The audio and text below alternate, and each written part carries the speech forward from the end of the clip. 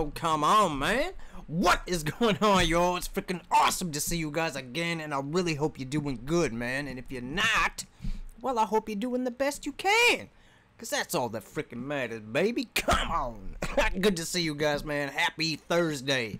I finally remembered what freaking day it was. Now, I'm not going to do too much talking in this because I don't know if my OBS is going to be working correctly. My first reaction froze. And yeah, it just didn't work out. So now we got this one here, man. Three Rivers by Dave. This is my this is only my third track off the album, I think, man. Either third or second. Third or fourth. I'm not 100% sure, but either way, I think it's freaking awesome, man. One thing I will say is he's not he's not putting out you know, two minute songs. He's putting out five minutes, seven minutes. The other one I think was like six minutes. It's freaking awesome, man. He's putting a lot of work into these. And they're freaking beautiful, man. The ones I've heard so far are just freaking spectacular. So, no further ado, big shout out to you guys, man. Let's get these headphones on and get into this Dave Three Rivers. Let's go. Ooh.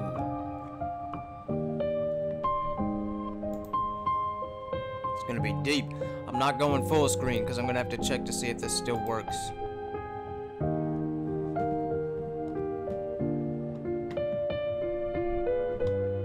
Let's go. Look, imagine an island where the party never ends. Where it's less about money and it's more about friends. Where the vibes can't done.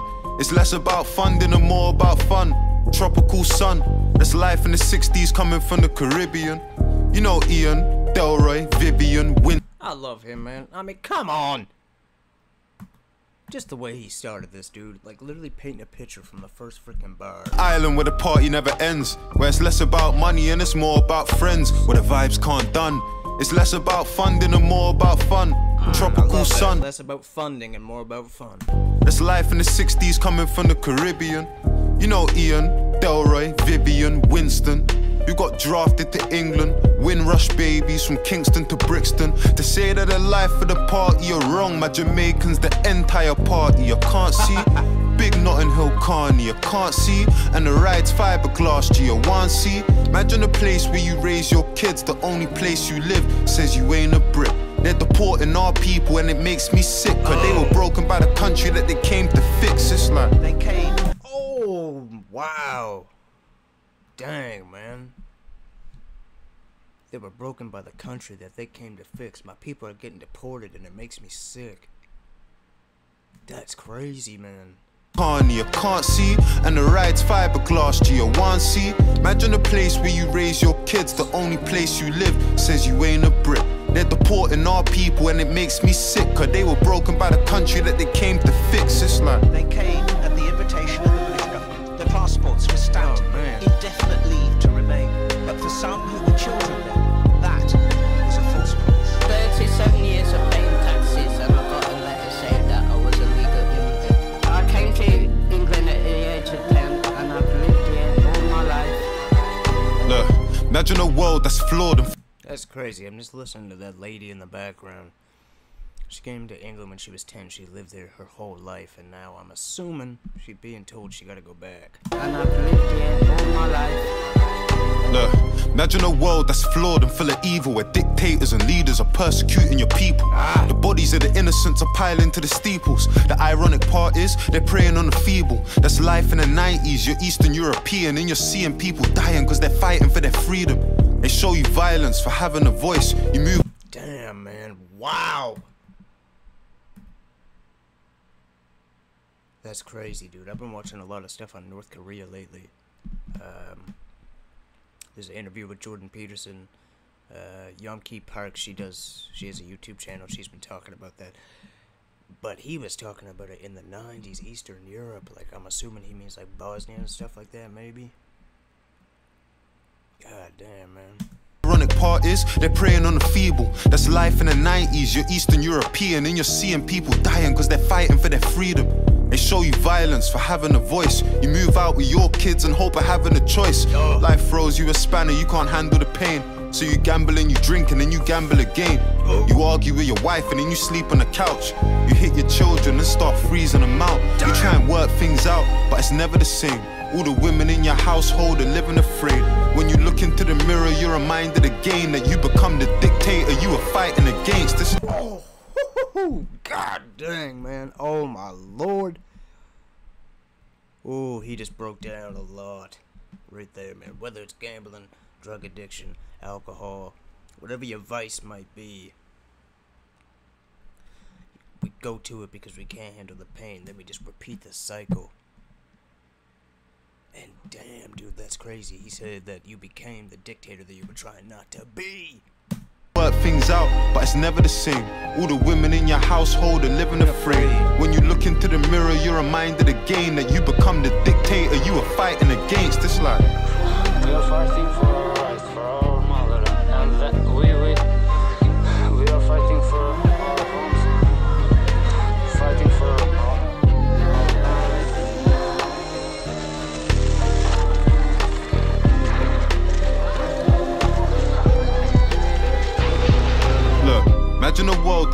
World that's fucked and untrue. Where the many pay a price for the few. And every day the sun rises a little later. where the many pay the price for the few. And he's saying, imagine a world where, and then he's describing things that are actually happening in this world. Where the many pay a price for the few. And every day the sun rises a little later. That's how it is when your oppressor is your liberator. That's right now living in the Middle East. Praise Allah for the peace. Death from a sky little with stars. You run away with your kids so you can give them a chance. But your asylum, it's got you in a different war. Because the British wanna know what you're living it for. We rely on migration more than ever before. They're key workers, but they couldn't even get in the door. When you're at heaven's gates, we The wordplay, man. Never before, they're key workers, but they couldn't even get in the door. When you're at heaven's gates, we telling the Lord? You wouldn't even let a kid into some steadier shores. That's a life they may never afford. Surely you would want to give your people chances that were better than yours, no? Years of conflict, Hit him with that freaking truth, man. 12,000 children have been killed or injured. The children here are just a tiny fraction of the estimated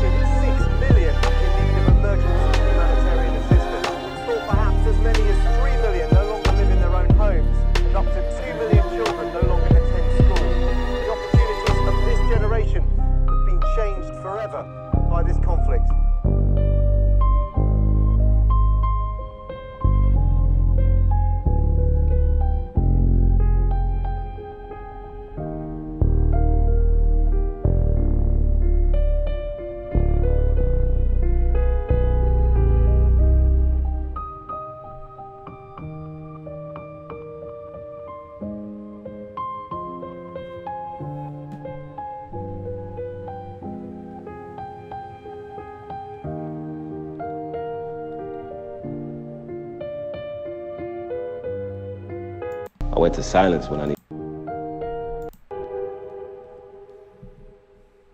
I went to silence when I need to know who who the who the fuck I was, bro. I want to hear anyone else shut everyone else out, so I can just hear myself, bro. You know what I'm saying? Because we live in this world, yeah. You stand still, the way the tide's set up, it will take you away from yourself. You feel me? So then I was like, all right, cool. I had to get silent, but it's not like man was going against the tide, because going against the tide still makes it about them. Still makes it about the poison that you've internalized that's in your mind. You feel me? It's like, bro, like why am I in this water?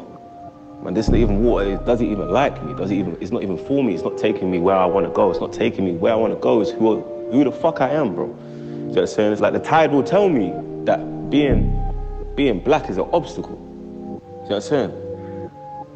I had to s- switch rivers, bro.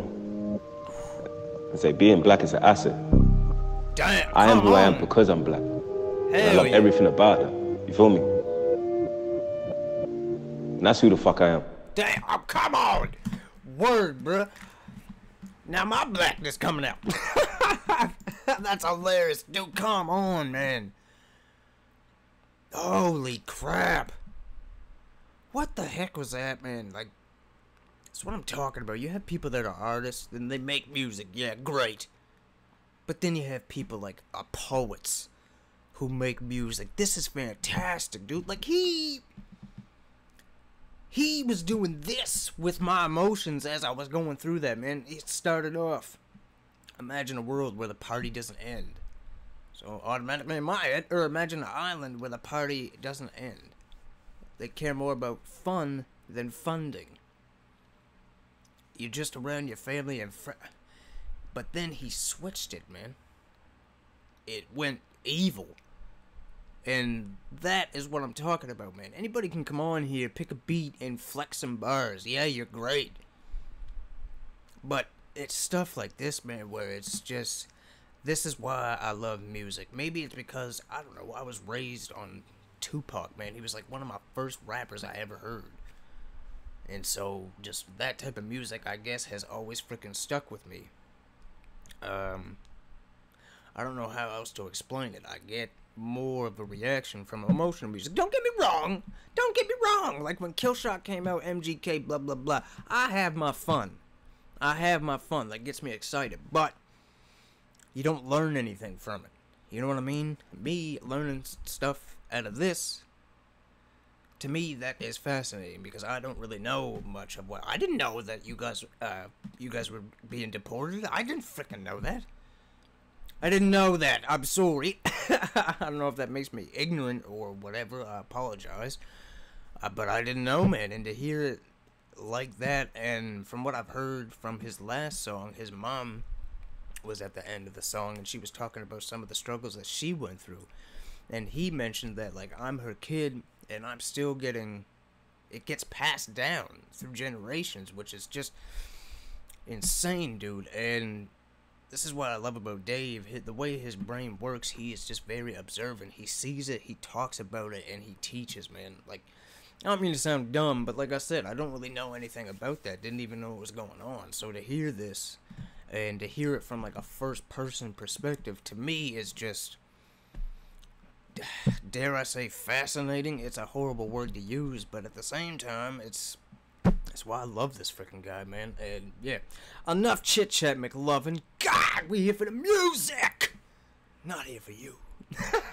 I love you guys, man. Have a freaking awesome day, and I will catch you in the next one. All right, peace out, baby. Come on.